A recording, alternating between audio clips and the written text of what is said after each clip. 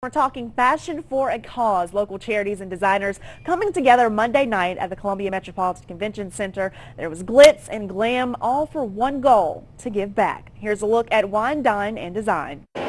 It's a night that fashion lovers dream about. I would love to get in the fashion world. Wine, Dine, and Design drawing hundreds of fashionistas to the capital city Monday night.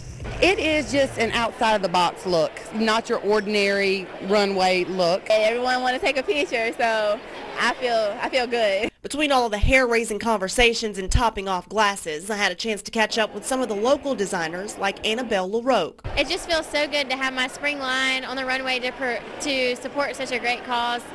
Really excited to be here. And another local favorite, Sergio Hudson. It's really great to be honored in your hometown. You know, I do a lot of things out of state and get recognized a lot, but it's great to get noticed from home. But it was the national fashion critic himself that people were all lined up to see. I was really excited to have a celebrity, and our dog was just fantastically surprised.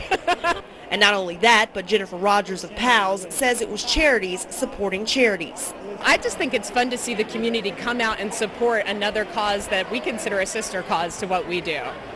Finally, the stage is set and models rip the runway along with those who the night was really all about, students from the School of the Deaf and Blind to be at an event where we're all in the people helping business here. So we actually have something in common. Leaving a man that's never short for words, speechless. I'm really impressed. I'm, it takes a lot to blow me away. And this whole event is very polished and put together well. Columbia gets an A++++++.